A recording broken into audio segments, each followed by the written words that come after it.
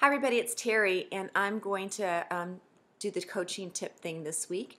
And I just wanted to talk about the beginning of the month, and it's the first quarter of the year, and how important it is for us to try to take an advantage of this time of year to get as many clients as you can have. And sometimes you might even have a little bit more clients than you want.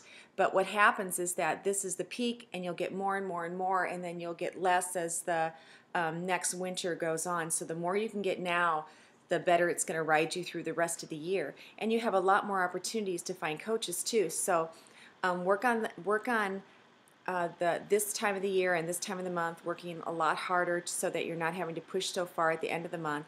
And what I encourage people to do is whatever um, whatever level you had last month, try to get to it sooner this month. Like for example, if you were manager on the 30th, try to get to it by the 25th or ED or whatever. Try to get to it a few days earlier so it doesn't put so much pressure on you and you're moving forward. And the goal as you go is to try to get 8 to 10 new clients a month. And as you build your business, it's easier and easier to do that if you learn how to ask for referrals.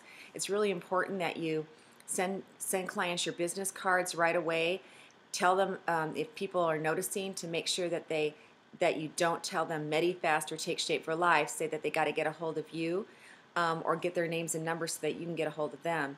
And if you aren't utilizing your pre-client folder, you really should. So I would spend a little bit of time and have a whole bunch of those sheets that are in there and put you can put specific names on there or you can even put categories so it forces you to think about it. For example, if you have a, a, a couple people that work at the same business, then maybe you can focus on, for example, State Farm or um, you know, one of the schools where you can see if you can put some flyers up there and get the word spread there. Um, but utilizing your, your pre-client folder is really important and try to do some of that stuff as a priority.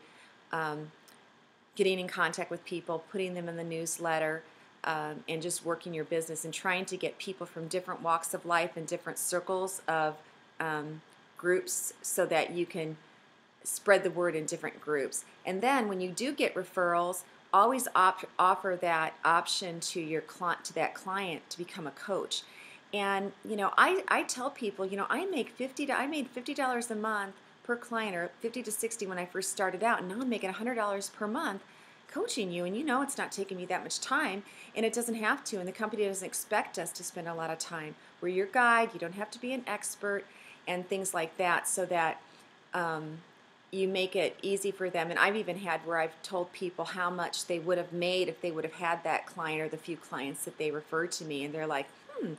And then you can say, and, and as, as I coached you with your uh, weight loss, I would be doing the same thing with um, mentoring you as a, as a coach also.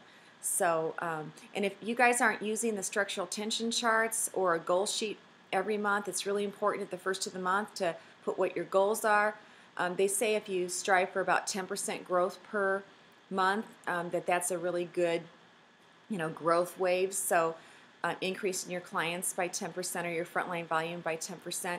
And I really encourage you all to try to get a coach this month. Really work hard on it. Ask a bunch of your clients and go out there and um, practice your skills. And the more you do it, the better you'll get. And you'll be, and you don't have to be real formal about it. It can be just very totally casual. I do it with dripping on them in emails, making when I call them on the phone, not a not a specific phone call to ask him that, but it's just in the conversation. I drop it every once in a while. Um, so, and then the people that are not clients that you can actually have to do something a little bit more formal, but it can just still be a, a quick phone call. Uh, so, there's just some tips right there, and I'm also going to be shooting you an email with a link of a great video that Ricky Duncan um, in Oklahoma found that is about structural tension, and, and it's just a really, really great video. So thanks a lot. Take care, and um, talk to you soon. Bye-bye.